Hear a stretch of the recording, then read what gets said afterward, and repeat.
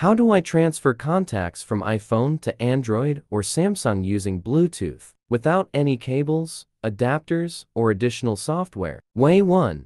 Transfer contacts from iPhone to Android in one tap. MobiKin Transfer for Mobile enables users to copy various data types between different devices, including iPhones, iPads, and Androids. This program allows for the transfer of contacts and is pretty easy to use. Download and install the Smart program on your computer. Next, make the connection using the appropriate USB cables. You may need to enable USB debugging on your Android phone and tap Trust on your iPhone to make sure that the software recognizes both. Once the devices are connected, select the Contacts checkbox in the middle of the panel and click the Start Copy button to initiate the contact transfer from iPhone to Android. Way 2.